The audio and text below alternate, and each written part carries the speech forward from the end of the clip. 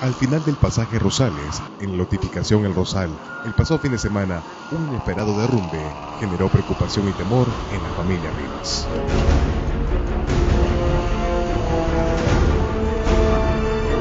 Afortunadamente, solo fueron pérdidas materiales.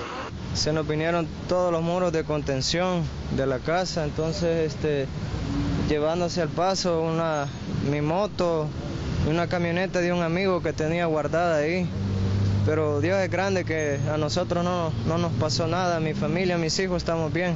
El temor de las familias está latente, pues el terreno amenaza sus viviendas. Acá hay grietas también, necesitamos ayuda también para que los ayuden después de ellos a obras de mitigación, porque con solo tener la vida, eh, bueno, ya poder salir y entrar en su casa, suficiente. Pues. Autoridades de la alcaldía de San Salvador se hicieron presentes al lugar para realizar remoción de escombros y la inspección del lugar la alcaldía de San Salvador tiene la responsabilidad de donde están las necesidades ir, ¿verdad?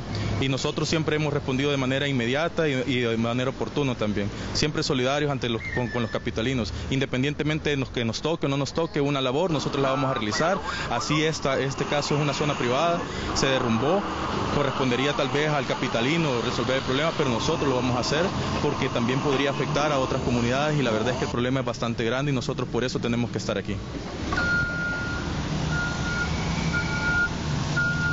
Con imágenes de Ronnie Rivera, Ronald Rivas, Noticias 4 Visión.